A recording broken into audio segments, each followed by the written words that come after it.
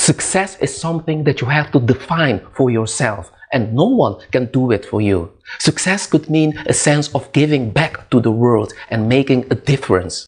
It could mean a sense of accomplishment and career progression. It could mean having a nice and warm family, etc. Happiness is an emotional state characterized by feelings of joy, satisfaction, contentment, and fulfillment.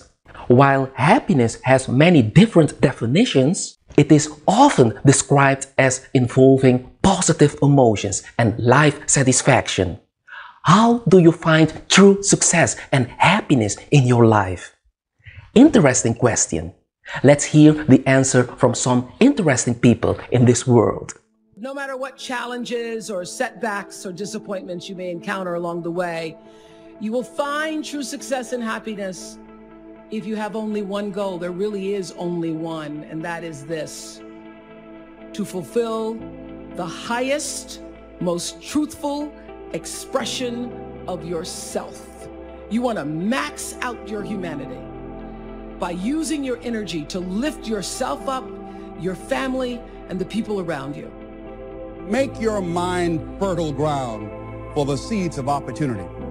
Think if you want to experience a sense of fulfillment, you've got to have an open mind so that ideas can come in there and take root and grow.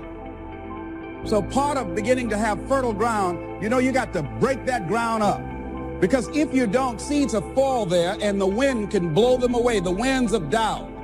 When you're set in your mind and you refuse to grow and you're not open to new ideas, new methods, new ways of doing things, if your mind is already fixed, you become stagnant.